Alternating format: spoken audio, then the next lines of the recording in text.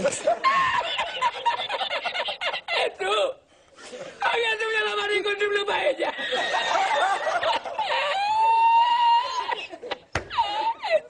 Tú.